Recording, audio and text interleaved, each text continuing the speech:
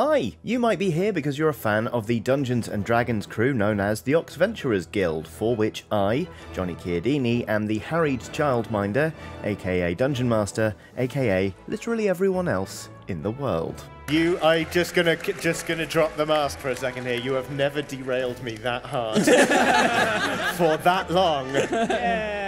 Ever. Or you might be here because you're friends with an Oxventure fan who's trying to get you to watch it too, in which case, I'm sorry, but you're one of us now, and you're not allowed to leave. Since you are here though, we may as well start by introducing you to the five members of the Oxventurers Guild, then you can jump into the next season of Oxventure D&D armed with all the knowledge you need to make sense of the chaos. Ready?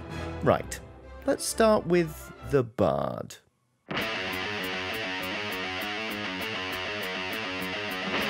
Dob the half-orc bard never knew his parents, and when he fell ill as a baby, his sister Suzette went out looking for medicine and never returned. But after years of searching, Dob reunited with her. Hooray! Um, Dob, what does your sister look like?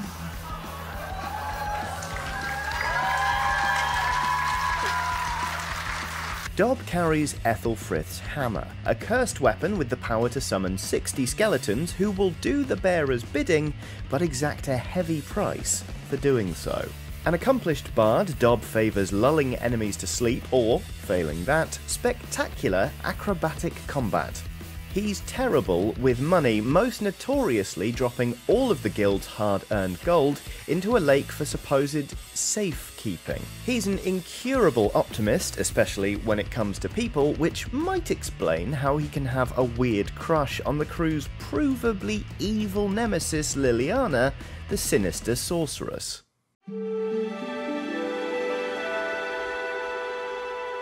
Wood Elf Druid Merilwen has always preferred animals to people. Speak with Animals is one of her most cast spells. If there is an option to talk to and or befriend a beast, she will take it. You will often find this animal-loving, shape-shifting druid in the form of a brown bear, giant octopus, or a wildcat. Her wildcat form is in memory of her former feline friend Simon, whom she found and rescued years ago while out hunting. Merilwen has been around longer than any other member of the guild, being over 100 years old, but is only just discovering her true potential as a druid in the Circle of the Moon. She's armed with a bow, but prefers spellcasting. She's had some great, gruesome results with spike growth, for instance.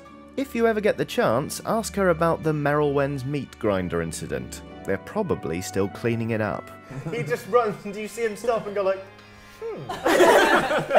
and then he just falls straight onto his face, dead. Oh, one down. I'm starting to feel bad about this. Oh, a little bit. A little bit.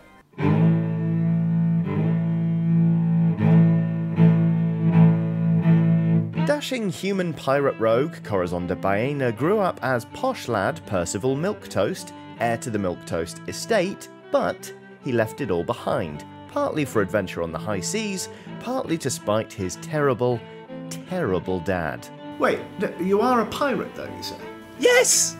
And that's you what not I tried to kill- whole- Well, I remember trying to kill you because I thought you were a disappointment.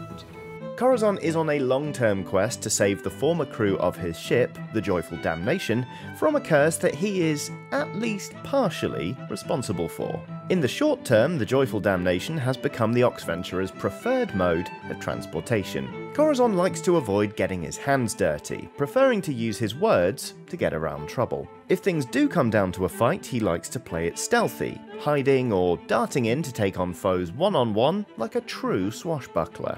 And if that fails, he can always fall back on the old classic Grease, the world's best spell, according to him, and only him.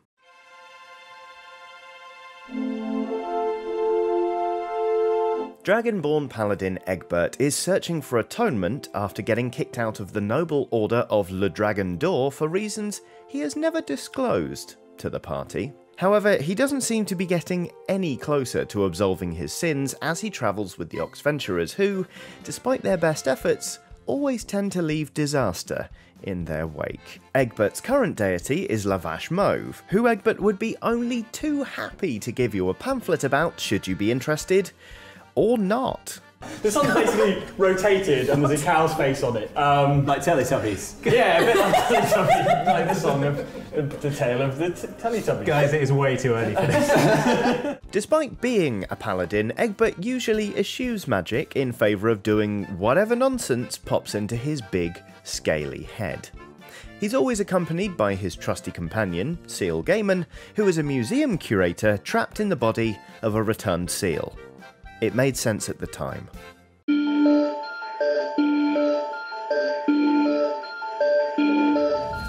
The least ethical of the Oxventure crew, Prudence is a grumpy tiefling warlock. Get on the wrong side of her, and you'll get a face full of Eldritch Blast.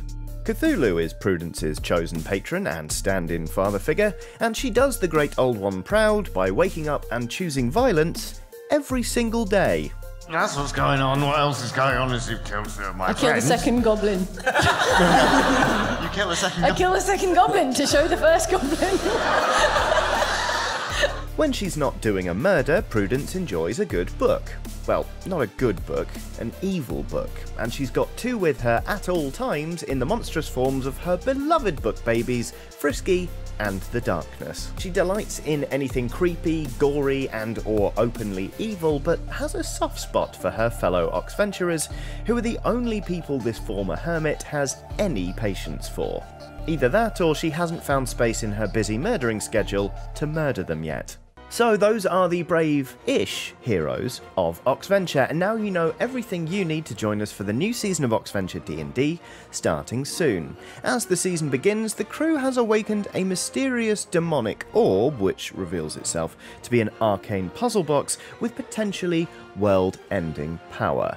What will happen next? To find out, come watch the Orb Apocalypse saga unfold every week on Outside Xbox. Subscribe, hit the bell icon for notifications, and thank your friend for getting you into your new favourite D&D collective.